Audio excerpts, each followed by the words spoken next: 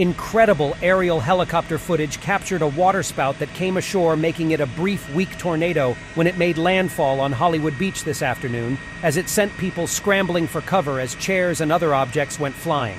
It quickly dissipated a few yards inland when it made landfall, no one was injured.